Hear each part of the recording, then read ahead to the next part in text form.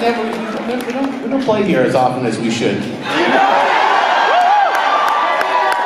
I mean that in the panderiest way possible. Actually, I, I was seeing some people are like responding nicely, and other people are like, yeah, like a little, a little aggressive for us. You know, it's like a little, a little intimidating. Yeah. Unlike the reality shows. They Only can't so much hear. security in a place like this. So, uh, how about those songs we were supposed to be playing? Yeah.